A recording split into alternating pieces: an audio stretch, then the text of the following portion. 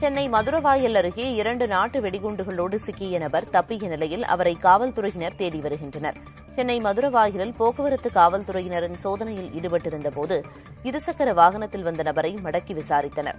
முன்னுக்கு பின் முரணாக பதிலளித்த அவர் திடீரென அங்கிருந்து தப்பி ஓடினார் அந்த நபர் எடுத்து வந்த பையை சோதனை செய்ததில் இரண்டு நாட்டு வெடிகுண்டுகளும் ஒரு கத்தியும் இருந்தன உடனடியாக வெடிகுண்டு செயலிழப்பு நிபுணர் வரவழைக்கப்பட்டு நாட்டு வெடிகுண்டுகள் கைப்பற்றப்பட்டன. தப்பி ஓடிய நபரை காவல்துறையினர் வழக்கு பதிவு செய்து தேடி வருகின்றனர்.